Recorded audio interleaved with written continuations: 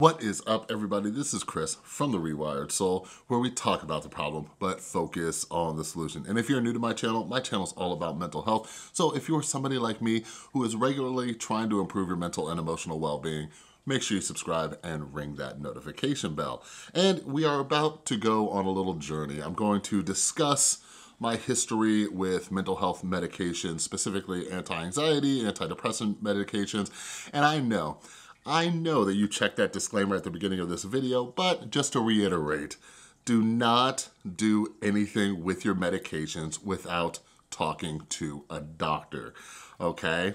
It is unsafe and you don't wanna do that, all right? I will share a little bit about the one time I made that dumb mistake. But anyways, before I get to why I am no longer taking my anti-anxiety slash antidepressant medications, let me explain why I got on them in the first place. So some of you know, I'm a recovering drug addict and alcoholic. I got clean on June 23rd, 2012. That was my 27th birthday. And I didn't know anything about mental health or mental illness or anything like that, but throughout my life, I just knew that my brain was acting different than everybody else, right? Specifically when it came to anxiety, um, that is like my primary disorder. Um, I've struggled with depression as well. But I started self-medicating with drugs and alcohol. That was how I was getting through it. But as many of you know, substance abuse only makes things worse. So anyways, when I got sober in 2012, I was having a panic attack all right? And I was telling my mom about it. My mom is a psychologist and I was telling her like what was going on. I was confused. I had no idea what was happening. It was in the early stages of my recovery and she's like, it sounds like you're having a panic attack. She's like, you should go see your doctor. And I was like, okay. So I went down and I saw my primary care doctor. And yeah, after um, some appointments and everything like that, I was diagnosed with a generalized anxiety disorder as well as depression. So she put me on the medication Lexapro.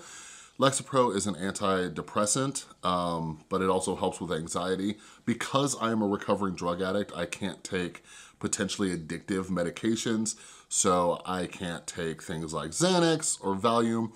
Those medications act a little bit quicker, right? They go straight to the amygdala in the brain where the fight, flight, or freeze response is going off. It helps calm that sucker down.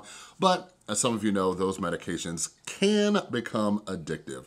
So I was put on Lexapro and I stayed on that and it managed my anxiety for a very long time. Um, I got to a point where this is something that I don't know if anybody else struggles with this who is a recovering pill addict, but I was about a year or two into my recovery after being on the meds and I just, I didn't want to be on any medications. Like my primary drug of choice was prescription painkillers and I didn't like how pills were holding holding me hostage. Like that's what my brain told me. Um, and I didn't want to be on any medication. So one day I made the very dumb decision that once I run out of my medication, I'm just gonna, I'm gonna stop, right? And I, I ran out, I stopped taking them for a day or two, it was fine. And then I was at work and I started having a panic attack and I was freaking out and it was on a Friday and my doctor's office was closed so I couldn't get a refill.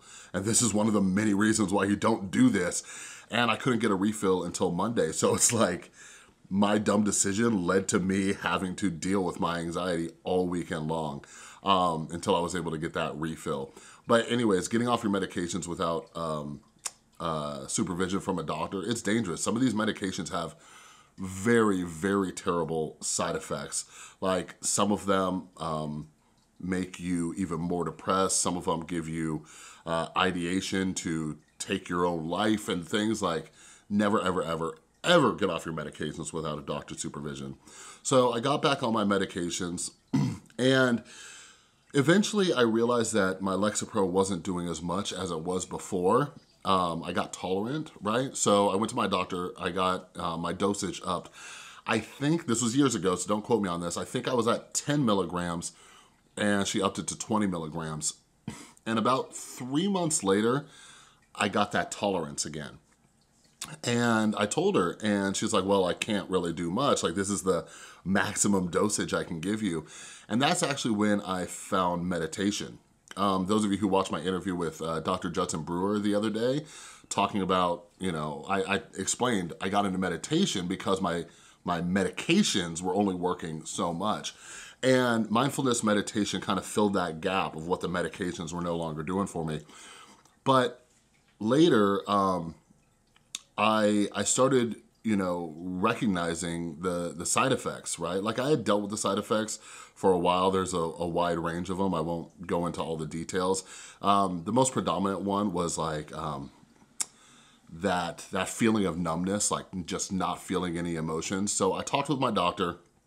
I was like, hey, I would like to get off these medications. I've been doing a lot of like self-care when it comes to meditation, when it comes to 12-step meetings and journals and everything like that. So she gradually helped me taper off and I stayed off for a while. I actually did this a couple times, but eventually um, my anxiety would kick back in, primarily because of life circumstances. Like one of the times my anxiety came back was when I started dating this this woman like way before my beautiful girlfriend Tristan and it was a toxic relationship and my anxiety flared up so I got back on the meds.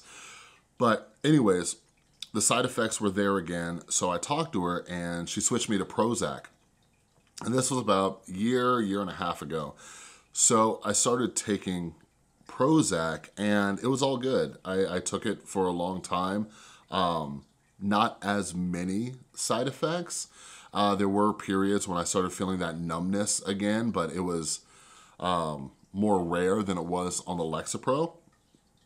And around Christmas time, I think it was December, um, I, I've discussed emotional regulation in recent videos that I've done on borderline personality disorder and dialectical behavioral therapy, but emotional regulation is something that I've struggled with most of my life. I'm not diagnosed with BPD, but some people do struggle with emotional regulation.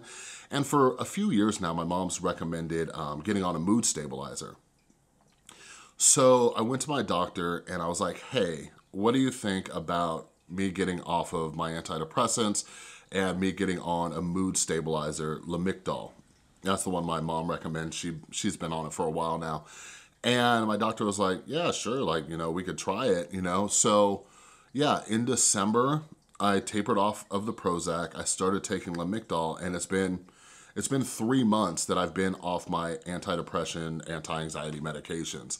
So yeah, like my experience, my experience with it it's been it's been good. Like um, in the last three months, even in the current state of uh, you know what's going on in the world, uh, my anxiety hasn't been bad. It hasn't been terrible. I've had a couple flare-ups in the last three months, but I've been turning to the other tools that I have, right? I've been trying to meditate every single morning for at least five to 10 minutes. I have an awesome therapist who I try to talk to at least once a week.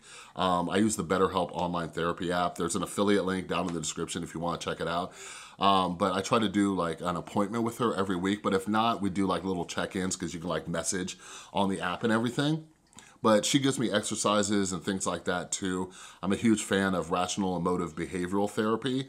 For me, that is one of the, the best therapies for my type of anxiety. My anxiety is very irrational all right? I get into these, these thought loops and ruminations and everything that are completely irrational. So rational emotive behavioral therapy, um, they have like the ABCs, right? Like the activating event, event, the belief, the consequences, and you kind of look at it and you start to retrain how your mind is thinking about these things, right?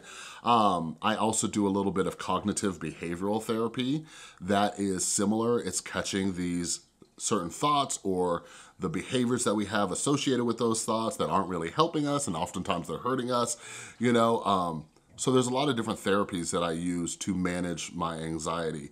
Uh, when it comes to my depression, I have a video coming out with uh, Dr. Alex Korb. It's actually a podcast episode too. But anyways, I recently reread his book, Upward Spiral. It's about the neuroscience behind depression. And there's so many little things that you can do to start boosting your serotonin and endorphins and dopamine and oxytocin and all these other things. So I try to do those things if I start to feel down and depressed. One of the best things too, one of the best things is a gratitude list, all right? Um, just five things, five things that you're grateful for. It helps your brain get out of this tunnel vision on the negative and it forces you to look at the positive. There's a lot of studies, a lot of research around this. I don't always write it down. Sometimes I just go through a list in my head. Aside from just like typical mindfulness meditation, I practice loving kindness meditation. Like for me, when I look at my mental health issues, a lot of it is very self-centered, right? I'm thinking about me, me, me, me, me, me, me. Loving kindness medication, uh, not medication, loving kindness meditation is send, sending kind thoughts and well wishes to other people, right? Um, I think I did a video bringing people through that meditation a while back, but that's very helpful for me. Um, like I start out sending these thoughts and well wishes to the people closest to me, and then I kind of broaden that that feeling of love and compassion to others, right? You know, it, it, expands kind of like everybody, you know, I hope that you're happy and healthy and loved, you know, and all that kind of stuff. Um, but yeah, it's been, it's been good. And like, for me, it's just, I want, I want people to know that there, there are options. Um, people don't like when I talk about it, but, uh, but yeah, we are we are kind of trained to believe that medications are the the end all be all like you take this pill it will fix you. And from my experience as well as the experience of many others who I've spoken to over the years like that's not the case. Medications are not a silver bullet. And that's why I feel it's so important for all of us to not only take our medications, but we have to do other things as well.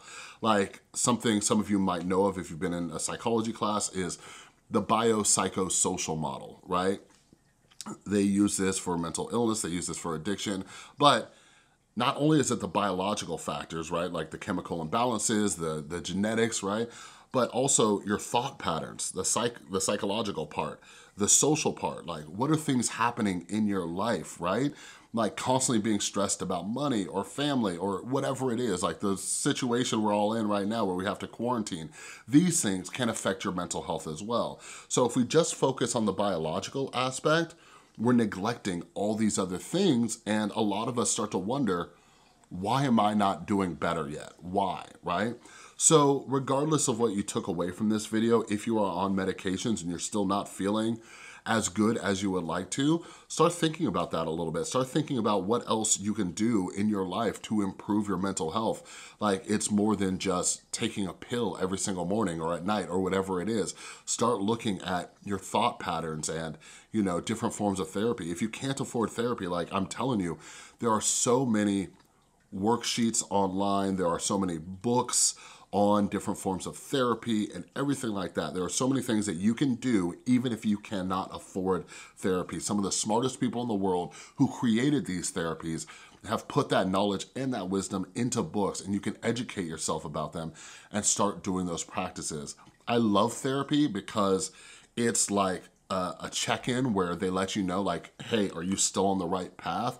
But sometimes we have to work with what we have and if we don't have the money to afford therapy, we gotta do other things. And meditation is totally free. My entire meditation practice started off with free smartphone apps. You know what I mean?